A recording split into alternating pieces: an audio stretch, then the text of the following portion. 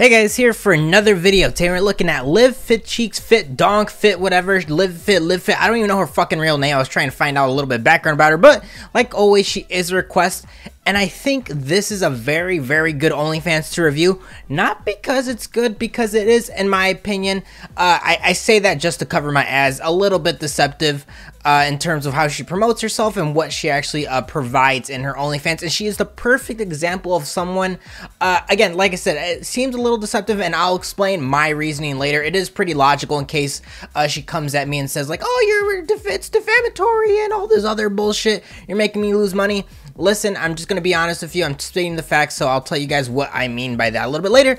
But let's look at our social media a little bit before I get into our OnlyFans. So, like always, I do like doing a little bit of research just to see how they promote themselves. And obviously, like every single Instagram thot and OnlyFans girl, their brand is them their body, right? They're trying to be the sex symbol. People really watch them only for their body and they don't have much of a personality. But she did have a YouTube channel and I did watch like two videos. I'm like, oh wow, she actually seems kind of cool. I was really surprised surprised she just didn't stick with the YouTube stuff because she seemed more like a YouTuber than an Instagram thot and an OnlyFans girl. Again, that's just my opinion, but with YouTube and social media and your life stuff, obviously people try to go for the bag. And I always say with OnlyFans, for me, it's like a low hanging fruit, right? You're just selling yourself. And if that's what you want to be known for for the rest of your life is just a cum bucket, cum rag, then awesome. I always say, and I've said this many times, and I'm going to keep saying it just for emphasis in case any OnlyFans girls are watching, or maybe any guys that do OnlyFans too. OnlyFans should be kind of like a short term thing thing where you build up your capital and then you invest in other things that you actually have a passion for, right?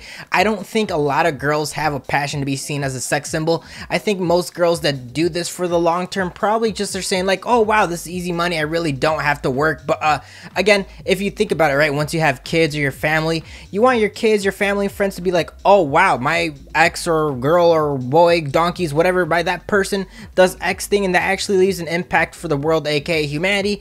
Uh, again, that's just my opinion, but uh, yeah, and she also does have a Twitter. Again, worth looking at those uh, pieces of content and social media. And she also, like I said, does have a YouTube, doesn't really post too much. Now, one important piece of social media that I tell you guys, please look at it, is her TikTok.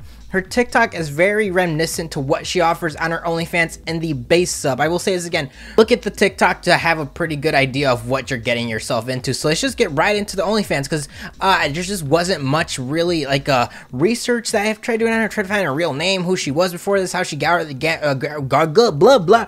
Era 44 Gateway garnered all this fame, but again, that's just something we're just gonna have to accept for now. So let's just get right into OnlyFans, like I said. So right when you get it, it's a top 0.1% every I get crazier, like and comment for extra surprise and all my attention. And now these next pieces of information are very vital to what I consider a deceptive OnlyFans. So New content plus chat with me daily, solo, anal, boy and girl, lesbian, threesomes, foursomes, fuck machine, casting couch. I do it all. Each one of you are special to me and I appreciate your support. Check out the tip menu for fun. And then she has her social media. So I always say with a description and a bio something, right? Whatever you say in your bio, I expect to see that in your base sub, right? It's like Netflix. They'll say, hey guys, we're offering fucking Shrek 5 uh, Star Wars 9 and Harry Potter's, uh, you know, the coming of Jesus Christ or some shit like that, you know?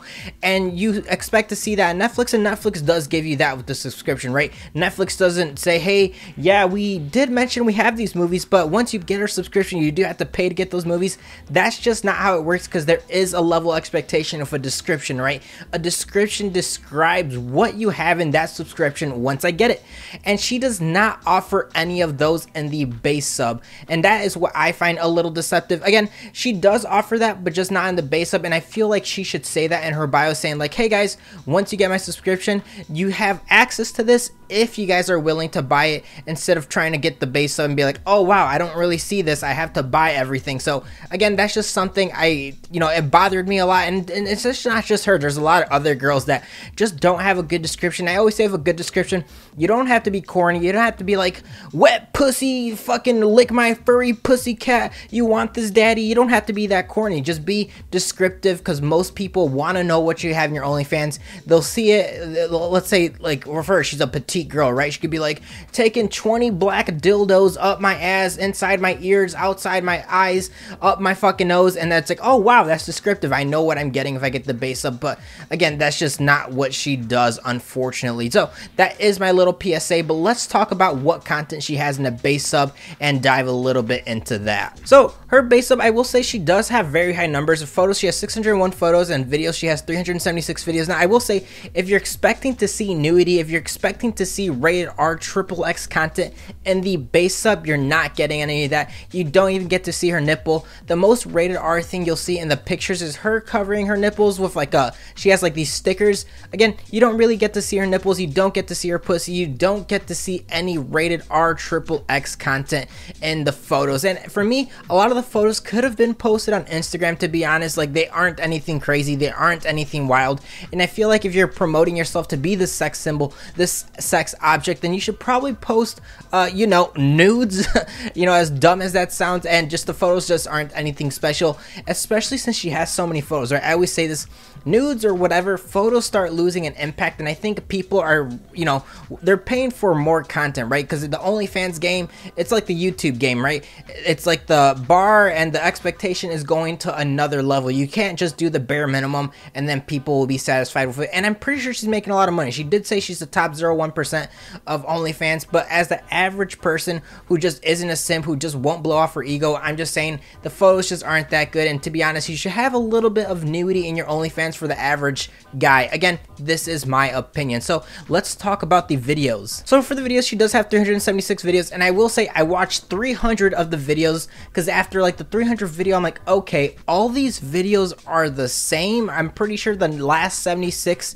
are also pretty similar, and I think it's a pretty good sample size to see the recent 300 videos, uh, and that's a pretty good judgment for OnlyFans because I just started seeing everything. I'm like, oh wow, there really is no difference. There really is no variety. Why am I wasting my time doing this? And I usually don't feel like this about OnlyFans girl. I'll be like, oh wow, they have variety. It's worth looking at all their content. But when they have a lot of content that's very similar, that just isn't that good, I start losing a, a little bit of my patience and I'll probably look at 80% of their content and use that as a pretty good sample size to describe what they have in their OnlyFans. So longest video she has is 1 minute 35 seconds, a minute and 10 seconds, a minute, a minute, a minute, a minute, and the majority of her videos do fall between the 3 to 12 second mark. And I will say, one thing that bothers me is that she describes, like I mentioned earlier, all these things, solo, anal, boy and girl, lesbian, threesomes, foursomes, fuck machine, and casting couch, but you don't get to see any of that in the base sub. The craziest thing that I saw in the base sub was her uh, eating out another girl's pussy uh, for about like two seconds, and that's it. There was everything else was pretty much censored. Or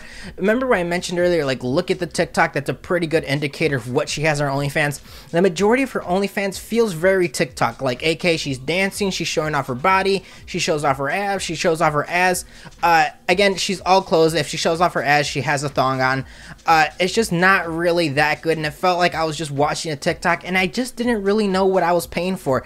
And I, like I said earlier, when I see the, the description and I expect to see what I read in the description, the base sub, and I don't really see that, to me, that's a little bit deceptive. I feel like you should be a little bit more descriptive and saying like, hey, you guys have access to all these videos. If you're willing to buy it, my base sub only has these TikTok-like videos or something. I don't know. Make it nice, but make it truthful, right? Make it honest. So if you want to see any of those crazy videos, you do have to go through the DMs.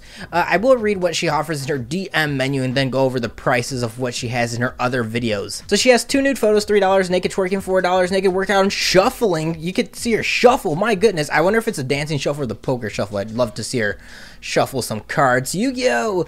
Uh, shower, twerk, and fingering $6. Public dildo fuck in my car $7. And the, the menu is pretty extensive, but if you do want to see all the good stuff like lesbian strap-on fuck, which I don't think is good, $21. Most popular lesbian threesome hot tub $23. And the prices just keep going up. And if you want to see a boy-girl video, it does and suck and fuck with my biggest fan, that's $29. And the videos just keep going up and up and up. And I get it, you want to make your money. I get it, people are buying it. But you have to realize that you just can't sell everything and be like an EA Sports, be like an EA company. That if you want to see anything good stuff, it's DLC, DLC, DLC, DLC. And like I said, I'm pretty sure your model's working, but for the average guy, I just don't see why I would invest in you if your base sub is trash and there are other girls that look like you that offer way better content for a little bit higher price. But again, it's all in the base sub, and I don't have to spend hundreds of dollars to possibly see you get fucked. Also, you being as famous as they are, I, I didn't do this, but there are many leaks online. If you guys want to have an idea of what she's offering, do look at that. And if you do want to spend more money on that, go ahead. You have an option. I just don't think it's worth it. As for the other videos she does offer in DMs, very expensive. Like one video, six minutes for $24. Another video is five minutes for $17. Another video for $10, which again, they start adding up. Sure, you could be like, well, it's just one video for $10. When you have a subscription for a long-term service, right? Because obviously with OnlyFans, it's a long-term game. You don't want to do that quick drop shipping thing. You want to make the most amount of money in the most amount of time. And that's how subscription services work, right? They play for the long run.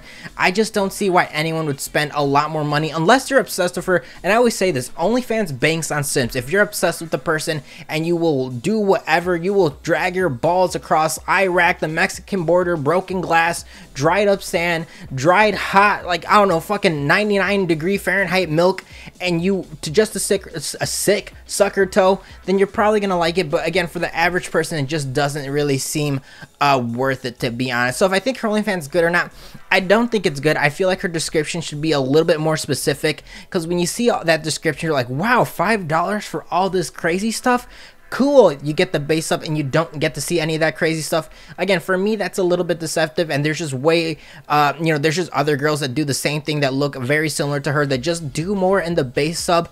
Even though it might be a little bit more expensive like two or three dollars i think it's worth it in the long run but with hers i just don't really see the reason to get it. But i'm pretty sure she's a nice girl. I saw her youtube videos and she seemed like a pretty uh, you know, cool girl. If anything, she should probably stick to YouTube because her OnlyFans sucks, to be honest. Again, this is my opinion. You guys can always check it out. So, like always, guys, please leave a comment below if you guys have any suggestions.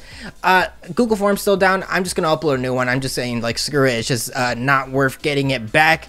Uh, the way I'm going to do it is going to be a little bit different, just more security. So the people uh, that do enter it, I do have a little bit more identity and seeing what you post before you actually post it, just so I can be aware if anyone tries to post like kitty porn or something like that, because I'm pretty sure that's what broke TOS. Someone just decided to do that with the last one, unfortunately. So I do appreciate you guys watching this video. I do look at every single comment. I do take in every request on my own spreadsheet. That every, every time I look at a comment, I'm like, okay, do research on this person, keep it on my own spreadsheet so I can get to them eventually. So I appreciate you guys watching this video. Please give it a like. Please give it a subscribe or I will kill myself. Later.